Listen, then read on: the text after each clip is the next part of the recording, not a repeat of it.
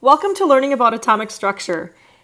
For this video, I'm going to be going over these definitions very quickly. So if you want to record my definitions, definitions, you're going to need to pause the video right now and write them down. The bulk of this video is going to be going over the isotopic quantities or how do you fill in these tables that have specific uh, content that you're going to need to be able to be uh, proficient at. So first, let me just quickly go over a really quick overview of these terms and, and what an atom is, and then we'll get into the actual example problems on the next page. So again, pause the video if you want to write down my definitions. So an, this is just a atom, okay? You can have whatever favorite element you want on the periodic table that create all of matter, okay?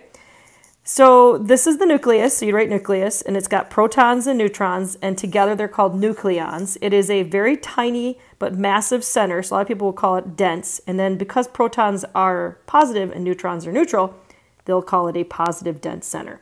The electrons can exist in these energy shells or energy levels is really how I what I call them.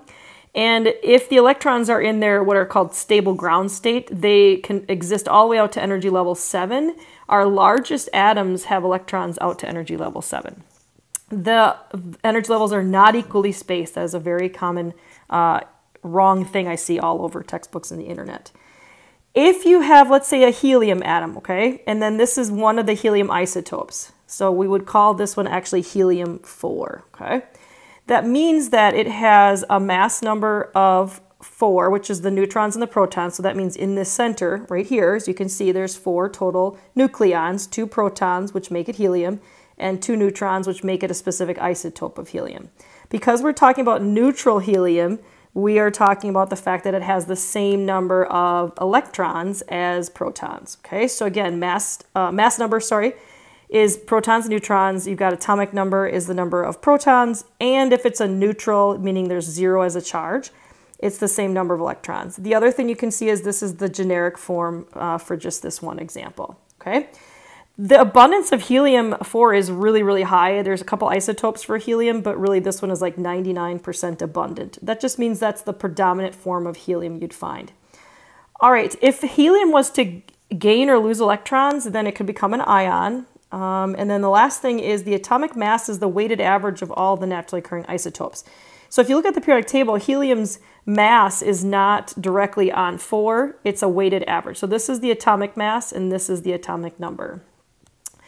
All right, last but not least, um, Avogadro's number. Now, why did I put that in here? Well, because when we get later on in chemistry, the atomic mass, what you're going to use is something called grams per one mole.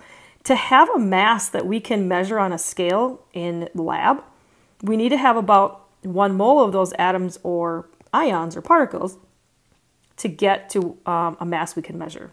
And that number is 6.022 times 10 to the 23. That's the number of particles we need. All right, let's get right into the practice problems then, okay? So I'm going to go through uh, the hydrogen isotopes first, and then I'm going to get into just a random amount of different atoms and ions for us to practice, okay? So if you take a look at these three isotopes, the nucleus is extremely enlarged so that it's easy for you to see. So what we're saying is we have hydrogen, so that's going to be um, H, okay? And what you would do is you put the mass number in the upper corner, okay, in the upper left corner. So I just want to make some room here. So you put 1, because there's only one nucleon. And then there's only one proton. And then there's one electron because we're talking again about neutral uh, helium, okay? And we're talking about the isotope called hydrogen 1, also called protium. So there's one proton, one electron, no neutrons, atomic number one, mass number one. And this is the most abundant version of um, hydrogen.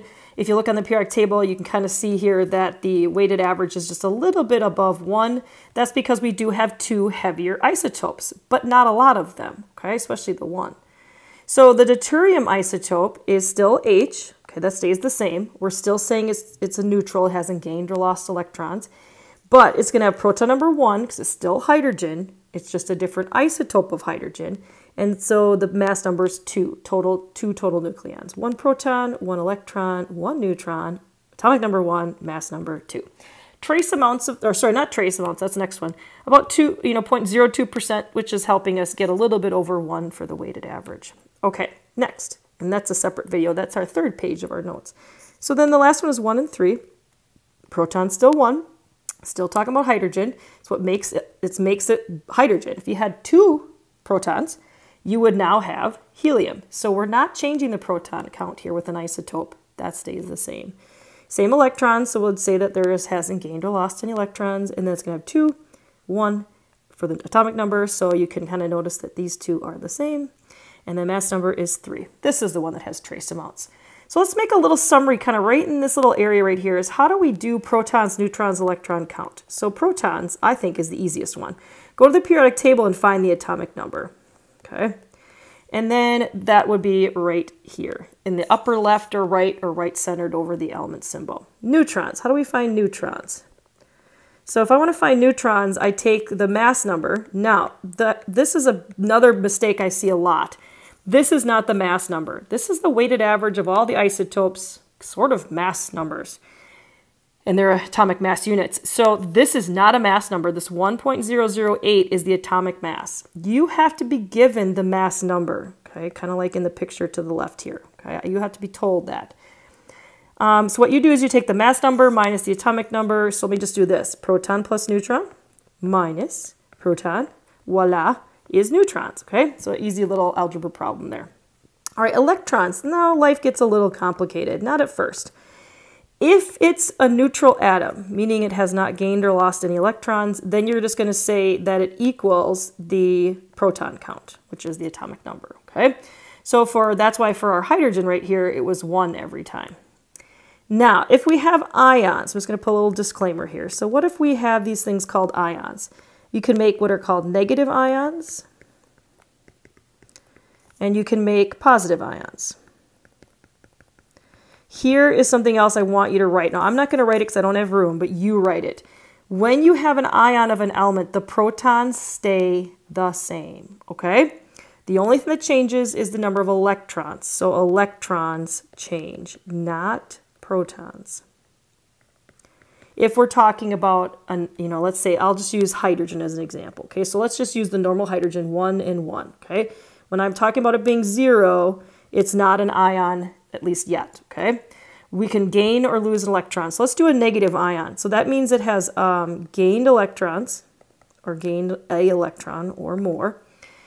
And what happens is then the uh, proton stays the same, but the electrons go up. So what you would do is you take the atomic number, and then sort of like I just tell students, kind of add in that value of the charge. So for example, if I had H1 minus, then I would say the atomic number was 1, it has a 1 minus charge, but it's just really the 1, okay? And so now I have a total of two electrons. And that makes sense if I gained an electron. This is why I'm starting with this one, that I have one more, okay? In this case, I only had one more. All right.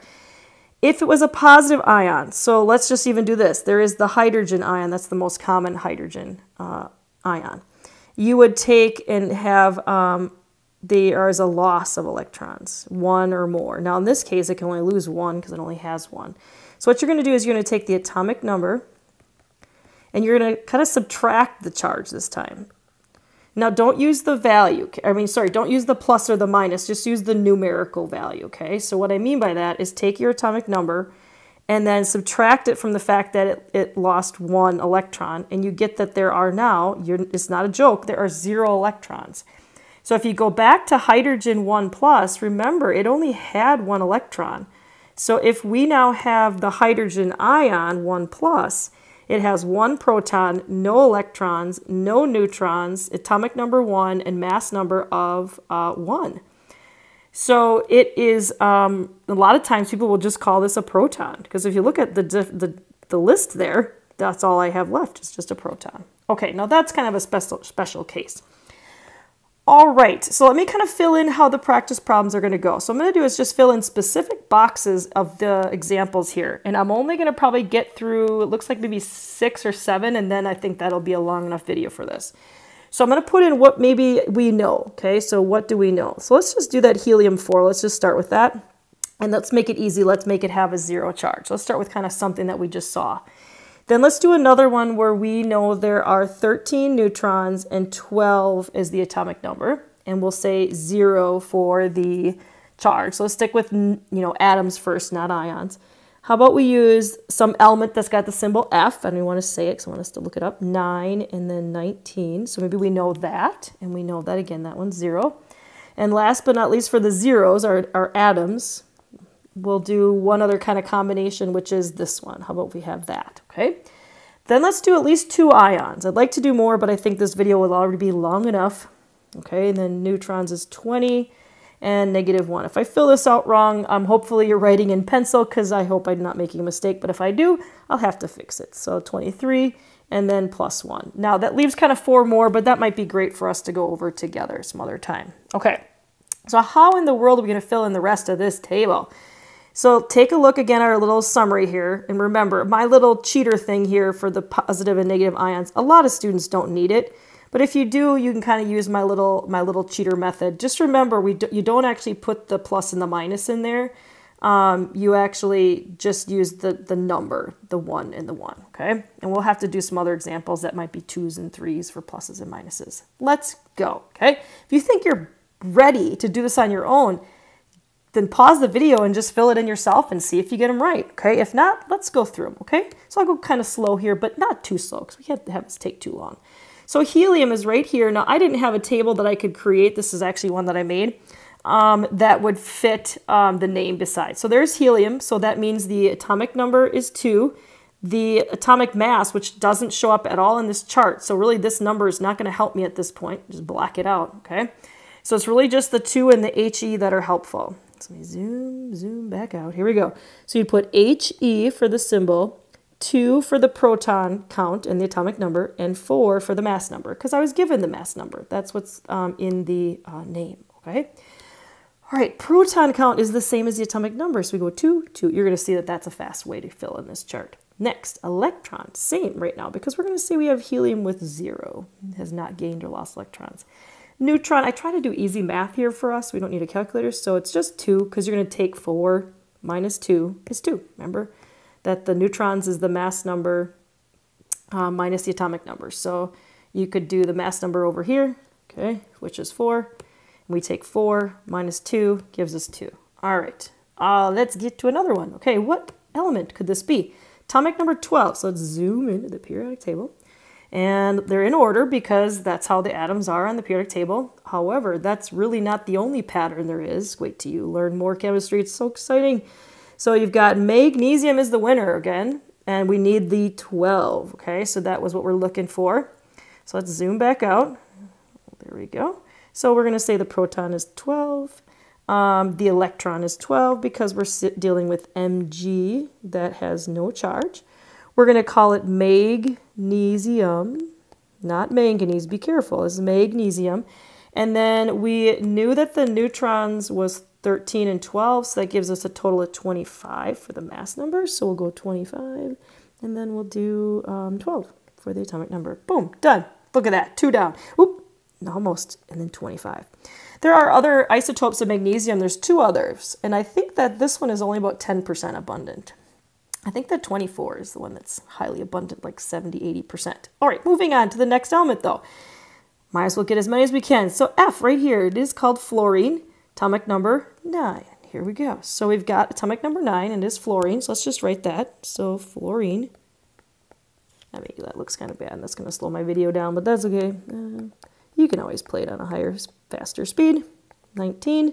Again, mass number is what goes there. Okay, that's telling us the specific isotope. Let's do the easy ones, right? 9, 9, and since it's a neutral fluorine, it's not an ion, can be 9 electrons. I did easy math for us, right? So again, 19 is the mass number. Why don't I switch colors? There we go. So what is 19 minus 9? I did this on purpose. I want it to be easy for me too. And you get 10. No calculator needed here, people. All right, next one. Let's keep going. We have a proton of 47. So we got to zoom in. Who are we talking about? Which wonderful element of 118 elements are we looking at? And what did I even say? I just forgot now. 47. Here we go. Uh, silver. Woohoo! Okay, so silver is Ag. It's got 47. And let's go back out and see what we can fill in. So let's write silver. And then we know the mass number is 107. Okay, we got that. Let's do the easy ones. 47. We're saying it's silver. It is zero, so we have not gained. We have not done with an ion yet. Soon.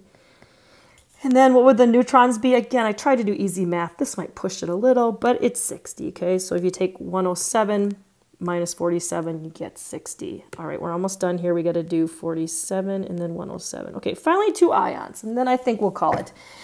Here we go. So we have a electron that has been gained. Okay, so first thing I'm going to do is I'm actually going to go, well, that means this is 18 because I have gained an electron. So remember, the atomic number and then I have one more electron, so I have uh, 18, not 17. So I've gone up by one, okay? Atomic number still stays the same. So whatever element is 17, that's this element. Let's do the mass number right away. That's 37 because you just add your uh, protons and your neutrons. Now let's go look for who is element 17 or what element is 17. I went right over the top of it, hiding it. There it is, chlorine. Um, so we're going to write that down as the name, and the symbol is Cl, lowercase l, okay, chlorine. And then we're going to say it's chlorine 37. C, lowercase l, don't do capital. Remember, elements either have one symbol that's capitalized or one symbol that's capitalized and one that's lowercase. Yes, we are that picky as chemists. Do it right, okay? 17 in the lower left, um, and then we had 37 in the upper corner there. And then this where different, you might want to even put one minus. Now, later on, we're actually going to call this a chloride ion, but for now, let's not worry about that some of the names of the ions change. You could just do this if you want to say chlorine 37. You could just say ion. You know, if that one, if that helped you, know that's not the normal chlorine.